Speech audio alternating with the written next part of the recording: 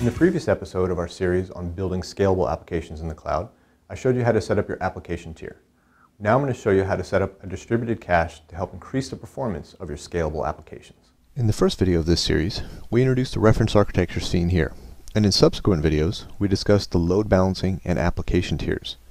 Now we're going to discuss the caching tier and talk about how a caching solution, and in particular a distributed cache, can provide performance enhancements to your scalable application. Now caching in its purest form can dramatically decrease the load on the database by caching data objects that the application servers are frequently accessing. Now this is particularly true in read-intensive applications, and in the vast majority of applications that RightScale has been exposed to, uh, read-to-write ratios are generally very high. 5 to 1 is very common, and we've even seen 20 and sometimes even 50 to 1. Now there are some costs to caching. You do have to modify your application so there's a little bit of complexity there. In the old school way, you had your application read from the database when it needed something. If you're going to use caching, your application needs to be changed to look in the cache first. If it doesn't see what it needs, then it reads it from the database, then it populates the cache, so the next time a different application server or itself needs that object, it's available in the cache. Now there are also additional instance hours to support the cache.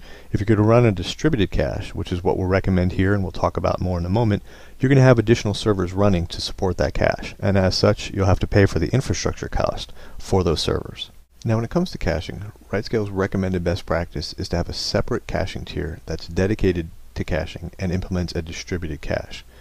Now caching can be, can be implemented on each application server. That is, you can have your memcached, for example, co-resident with your PHP application server or your Tomcat application server. But that really prevents the use of a distributed cache, particularly in a scalable array scenario, in which you'll constantly have servers jumping into and out of that caching pool. And as such, it leads to application complexity and database performance degradation as the caching is, pool is constantly repopulated. So if you are going to use a local cache, we recommend it only used on the co-resident application server, but we do recommend using a separate distributed cache whenever possible. What instance size and count should you use for your caching tier? Basically, how many servers and what instance size should they be? Well, what we recommend is you determine your application's memory caching footprint. And what we mean by that is try to determine in terms of RAM how much would you need to cache the most frequently requested objects and then select an instance size and a count that will spread that load over several servers. Now we recommend spreading it over several servers for a couple reasons. The first is that it eliminates that single point of failure. For example, currently Amazon has a uh, M2.quad XL which has 68.4 gigabytes of RAM available. Now that's more than enough RAM for probably almost every application in terms of caching. But if that particular server was to go down, you've lost your entire cache. So again, to prevent that loss of uh, the entire cache, that single point of failure, we recommend you spread your caching tier across multiple servers. Now with that said, we also distribute, recommend distributing the caching servers across availability zones. And you've heard this before in terms of the load balancing and application tiers. We always recommend spreading that across the availability zones for availability and reliability purposes. Now we also recommend you over provision if possible.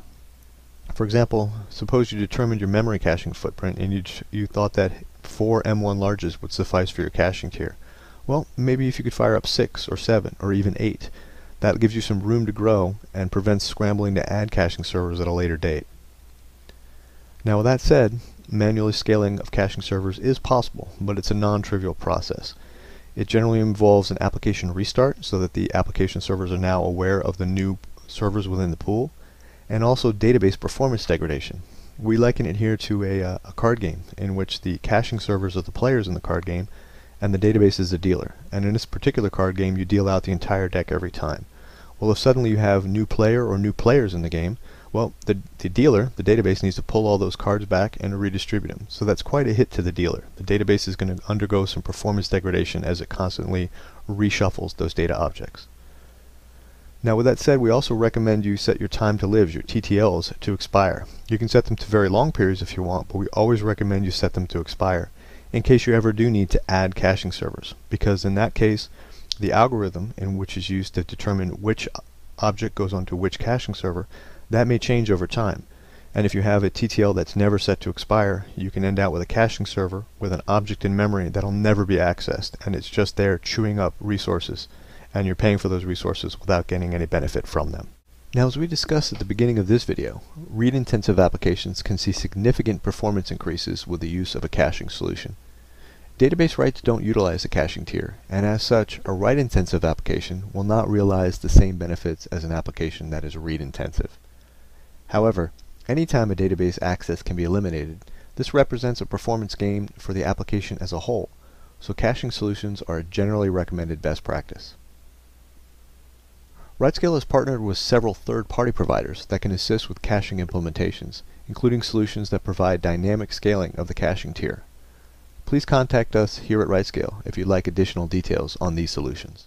So now that we've set up the caching tier, in the next episode, I'll show you how to set up your database.